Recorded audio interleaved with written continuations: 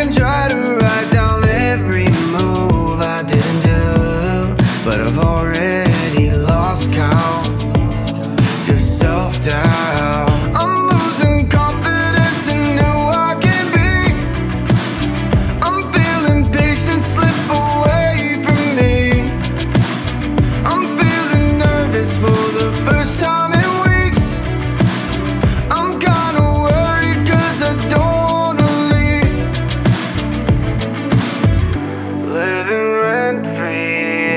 my head, anxiety in my bed.